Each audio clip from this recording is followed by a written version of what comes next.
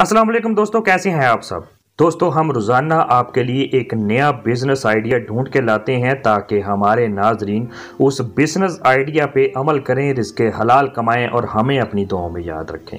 दोस्तों, हमारी कोशिश होती है कि हम आपके लिए आसान, छोटी इन्वेस्टमेंट वाला और ज़्यादा मुनाफे वाला बिज़नेस आइडिया ढूंढ के लाएँ। तो आज का हमारा आइडिया भी बहुत ही ईजी है। ये आइडिया क्या है?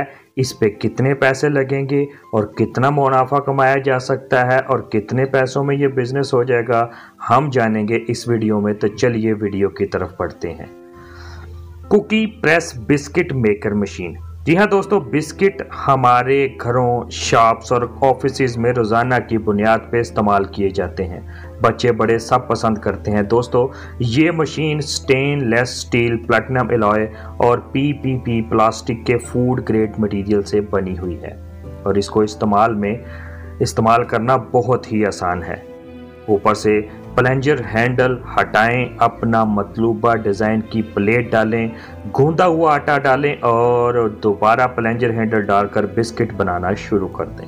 दोस्तों, इस मशीन को साफ़ करना भी इंतहाई इंतहाई आसान है, क्योंकि इसके हर हिस्से को, इसके हर पार्ट को अलहदा किया जा सकता है। तो इस तरह इसको साफ़ करना भी कोई मुश्किल काम नहीं।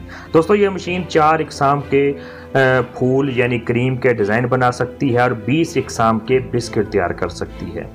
ये मशीन उन लोगों के लिए है जिनके पास इन्वेस्टमेंट बहुत कम है। इन हम नेक्स्ट एक वीडियो बनाएँगे जिसमें आपको इससे भी एडवांस्ड बिस बिज़नेस बिस्किट मेकिंग मशीन के बारे में बताएँगे। बेसिकली ये मशीन एक कच्चे बिस्किट की शेप बनाने के लिए इस्तेमाल होती है। अगरचे बिस्किट बनाने के लिए और भी चीज़ें चाहिए होती हैं, पर छोटे लेवल पर या जिन हमारी बहनों को घर में कुकिंग का शौक़ है उनके लिए कच्चे बिस्किट को इससे आसानी से बनाया जा सकता है और फिर इसको मैनुअली पकाकर अपने इस्तेमाल में लाया जा सकता है।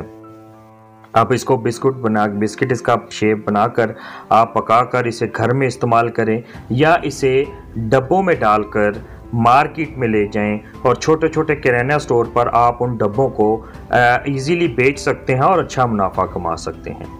अब बिस्किट बनाने का तरीका क्या है? तो रॉ मटेरियल में बुनियादी तौर पर तीन चीज़ें होती हैं, गंदम का आटा ऑयल और अंडे, और साथ में अपने मर्ज़ी का फ्लेवर बस आटा गूंदें, उसे दो घंटे तक पड़ा रहने दें, फिर इस मशीन से बिस्किट की शेप दें और जनाब ओवन में डालकर इसे पका लें.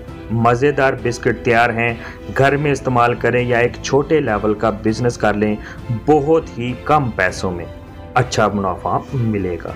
अब इस मशीन की कीमत क्या है? तो दोस्तों, आप इस मशीन को सिर्फ़ और सिर्फ़ 1500 में दराज से ख़रीद सकते हैं। जी तो दोस्तों, कैसा लगा हमारा आज का बिज़नेस आइडिया उम्मीद है आपको पसंद आया होगा और आप इस पर ज़रूर अमल करेंगे।